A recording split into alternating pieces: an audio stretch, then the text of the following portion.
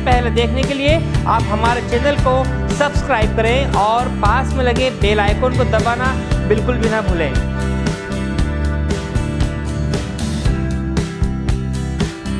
Khargone police ने पाँच गांजा तस्करों को गिरफ़्तार कर उनसे 10 किलो गांजा जब्त किया है। गांजे की कीमत तकरीबन दो लाख रुपए बताई जा रही है। खरगोन पुलिस को मुखबिर से सूचना मिली थी कि उमरखली रोड पर बाइक से अवैध रूप से गांजा ले जा रहे हैं। पुलिस द्वारा एक टीम का गठन कर घेराबंदी की गई और आरोपियों को धर दबोचा। आरोपियों के पास से 10 किलो गांजा जब्त किया गया। पाँच आरोपियों में से दो आरोपी इंदौर के बताए जा रहे हैं।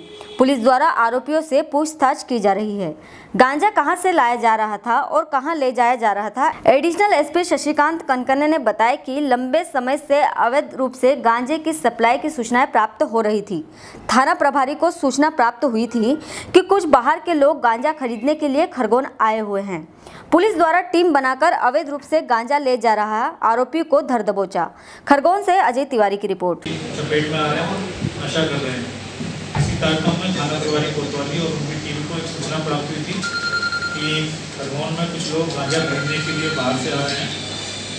इस संबंध में थाना तिवारी द्वारा मुख्य की सूचना के आधार पर टीमें बनाई गई और जो आने वाले लोग थे, उनको मुख्य की सूचना पर उनके भेजे के पकड़ा गया और जब उनकी तलाशी ली गई तो उनके पास से लगभग आठ किलो गांजे, जिसकी कीमत लगभग एक लाख सात हज़ार के लगभग है और उसकी बाइक जब्त की गई। पकड़े गए आरोपियों में से जितेंद्र और पंकज। ये दोनों आरोपी इंदौर के रहने वाले हैं और एक कपिल नाम का व्यक्ति जो रोगर गाँव, थाना मेनगाँव का रहने वाला है, उसके साथ इनकी मित्रता हुई थी। उसने इनको बताया कि गांजा इनको खरगोन में उपलब्ध करवा देगा तो गांजे की सप्लाई लेने के लिए खरगोन आए हुए थे। जो मुख्य सूचना के आधार पर थाना प्रभारी ने जो टीमें बनाई थी, उन्होंने इनको सफलतापूर्वक पकड़ा और गिरफ़्तार किया। जब इनको पकड़ लिया तो सूचना प्राप्त हुई कि कि बेचने वाले कौन थे उनके बारे में भी जानकारी दी जाए। हाँ तो तत्काल एक टीम रवाना की गई जिनके द्वारा हाँ, और ऐसी सूचना थी कि उनके पास कुछ गांजा और मिल सकता है इस पर से एक दूसरी टीम बनाई गई और जो बेचने वाले थे हाँ, तो तो जरा समय कब और ठीक जाकर बात करते हैं। भगवानपुरा क्षेत्र का रहने वाला और एक प्रमुख क्षेत्र का रहने वाला। हाँ, ओके। उनको भी घेराबंदी करके पकड़ा गया, उसकी तलाशी लेते उनके पास से लगभग दो किलो गांजा बरामद हुआ है। इस प्रकार से गांजा बेचने वाले और गांजा खरीदने वाले दोनों की चेन को संयुक्त रूप से पकड़ा गया है और इस कार्रवाई में बहुत अच्छा कार्य किया है। पुलिस अधीक्षक महोदय द्वारा उनको पुरस्कृत किया जाने की घोषणा की है सर, ये गांजे पर कार्रवाई की गई है और 10 किलो काफ़ी बड़ी मात्रा है गांजे की। किस तरीके की कार्रवाई है सर पिछले कुछ समय से पुलिस अधीक्षक महोदय को ऐसी सूचना प्राप्त हो रही थी कि ज़िले में अवैध रूप से गांजे की सप्लाई की जा रही है और कुछ लोग इसके गिरफ्त में आ गए हैं। इस पर से थाना प्रभारी कोतवाली को इसमें निर्देशित किया गया था। थाना प्रभारी कोतवाली ने मुखबिर की सूचना पर घेराबंदी करवाई और तीन लोगों को पकड़ा, जिनकी तलाशी लेते उनके पास से लगभग आठ किलो गांजा, जो कीमती एक लाख साठ हज़ार का है, वो जब्त किया गया। पूछताछ करते उनसे मालूम चला कि दो लड़के उसमें इंदौर के रहने वाले हैं और एक लड़का मेनगांव थाना क्षेत्र का रहने वाला है, जिसने उनकी मित्रता कराई थी। उन तीनों को पकड़ के जब गिरफ़्तार किया गया और जब पूछताछ की गई तो मालूम चला कि उनके द्वारा जो गांजा है, वो खरगोन से ही खरीदा गया है।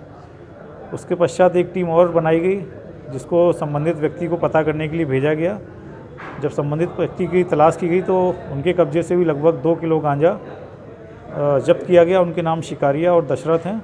एक उसमें बरू थाना क्षेत्र का रहने वाला है और एक आरोपी उसमें भगवानपुरा थाना क्षेत्र का रहने वाला है। इस प्रकार से देखा जाए तो दो अलग अलग मामले, लगभग एक आठ किलो का और एक दो किलो का, कुल मिलाकर दस किलो गांजा इस कार्रवाई में जब्त किया गया है। और इस कार्रवाई में संपूर्ण पुलिस थाना कोतवाली, खरगोन की भूमिका बहुत ही अच्छी रही है और इनके सारे अधिकारियों और कर्मचारियों को पुलिस अधीक्षक द्वारा पुरस्कृत करने की घोषणा की गई गांजा लगभग देखा जाए तो तीन लाख के आसपास इसकी कीमत होगी।